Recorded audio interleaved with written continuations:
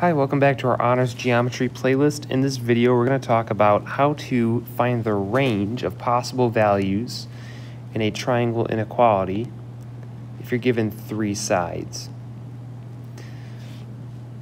So if we think about a regular triangle inequality problem, one where maybe you have uh, 13 and 17, and I want to know what the range of possible values is for the third side, 5, 13, 17, and some third side,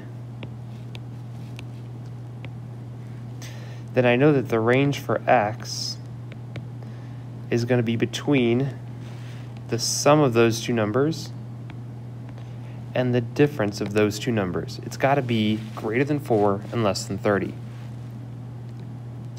In the same way that I know that the sum of these two must be greater than the third side, right? So whatever this side is, it has to be less than 30. It could be 29. It could be 7. But as long as that number is less than the sum of the two other sides, I've got a triangle that works. So any two sides here, it doesn't matter what two sides they are, we know that two of these sides, whatever pair you want to choose, two of the sides are going to be added up and they will be larger than the third. So the sum of these two sides whether it's x plus 5 and 5x minus 7 being greater than the third side. Or you could say, I don't know, the sum of these two sides is greater than, so you could say x plus 5 plus 2x plus 22 is greater than the value of the third side. Because no matter what two sides I add up in a triangle, doesn't matter what two sides I add up, they will always be larger than the third side. So like here I could add up 13 and 17 and it would be bigger than 20, or I could add up 20 and 17, it would be bigger than 13, or I could add up 20 and 13 and it would be larger than 17. So add up two sides, the sum of any two sides would be larger than the value of the third side. So I'm going to erase this if you don't mind. Just give myself a little bit more room. So the value of any two sides is greater than, or sorry, the value of the sum of any two sides is greater than the value of the third side. So the sum of any two sides is greater than the value of the third side. And if I combine my like terms, 6x minus 2 is greater than 2x plus 22. 4x minus 2 is greater than 22. 4x greater than 24. So x must be greater than 6. So x is greater than 6. Or I could write it the other way x is greater than 6. And then I'm just missing the other half of my inequality. But where would that come from? That would come from stating that the sum of any other two pairs, so if I add up, I don't know, 5x minus 7 plus 2x plus 22, and saying that's greater than x plus 5, or in this case I added up x plus 5 and 2x plus 22, and I said the sum of any two sides is greater than the value of the third side.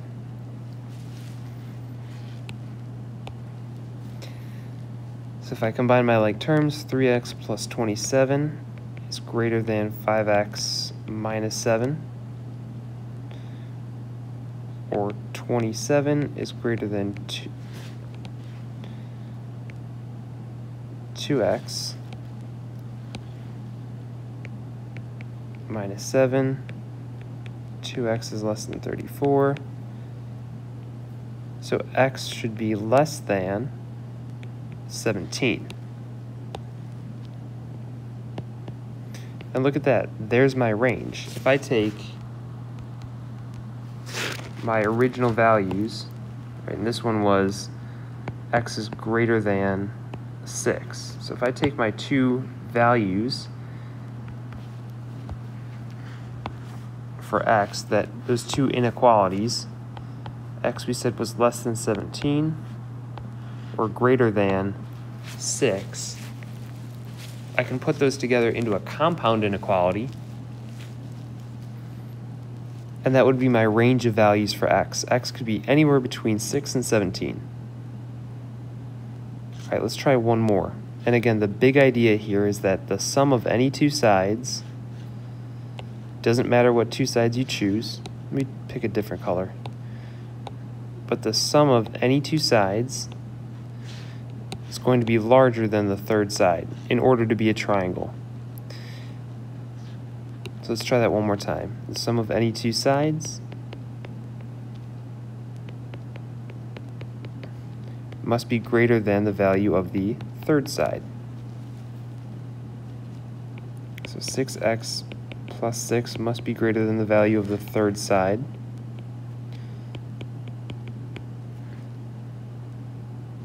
And if I combine my like terms, if I subtract that x over 5x plus 6 is greater than 13. And if I subtract that 6 over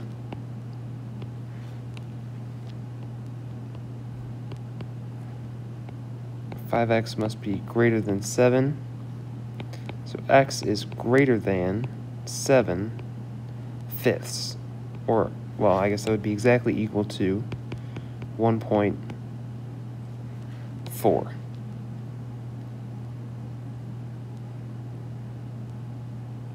So x is greater than 1.4.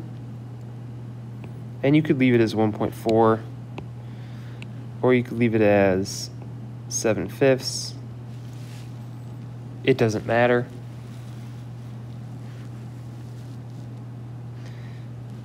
But that's just half of my inequality. This is only half of that compound inequality. I have x is greater than 7 fifths. But how in the world do I find that second part of the inequality?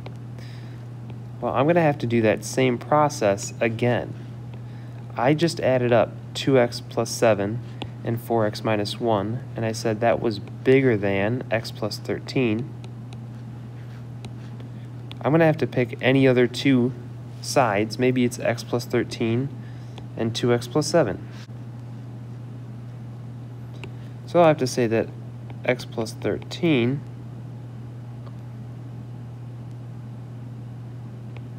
plus 2x plus 7, if I add up any two sides of the triangle, it should be greater than the value of the third side.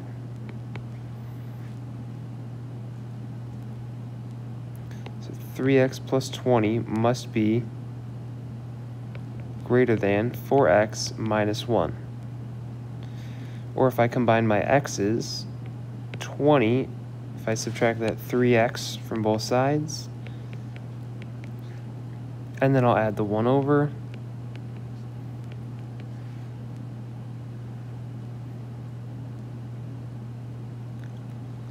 And I would get x is less than 21.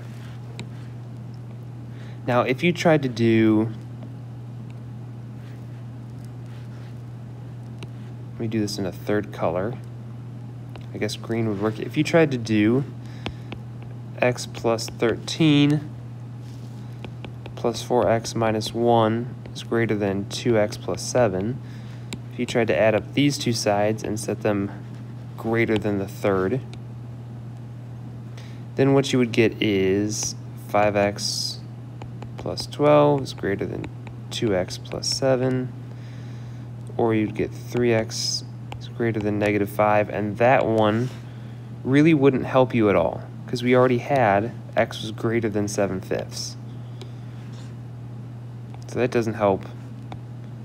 And you would have to do a third inequality. So we just kind of got lucky here that I only had to do two of them. you might have to do all three. Um, a quick way to identify what two pairs you should do, I would make the smallest one, so this is definitely the smallest one, because it's 1x instead of 4x or 2x. I would make the 1x all by itself on one problem, add up the other two, and set that greater than the smallest. And then for your second inequality, I would add up the smaller two and set that greater than the largest coefficient. So that's a quick tip for you to identify what inequalities to set up so you don't have to do the extra work um, of the third inequality. So set the larger two smaller than the, set the larger two greater than the smallest side, which is what we did first. Set the largest two greater than the smallest side, and then set the smaller two greater than the largest side.